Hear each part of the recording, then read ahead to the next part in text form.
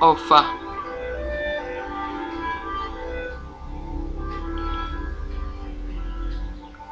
dedicated to the memory of my late friend Wàsíù ọmọ.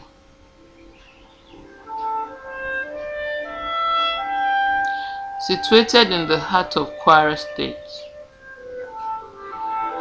in between Ijagbo and Erinle, I know a cute little town, Ìlú Ọ̀fà. It's clean. Its people are hospitable. I can never forget the market women at Ọjà'álẹ̀ as they repeatedly say, Ẹ rílé wọ̀ o, ẹ jáde ayọ̀. Ọ̀fà's pride lies in battles. Ìjàkadì lóòrò Ọ̀fà. Ọ̀fà's massive sweet potato, Lanti-Lanti.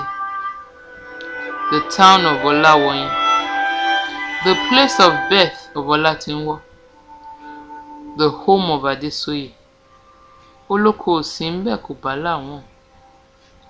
Ọmọ ọlọ́fà mọjọ̀, ọmọ abíṣujókọ. Ìjàkadì lóòrò Ọ̀fà. Ìjà kan ìjà kan tí wọ́n ń jà nílé Ọlálọmí. Ó ṣojú tani? Ó ṣojú Kúrò nínú oko.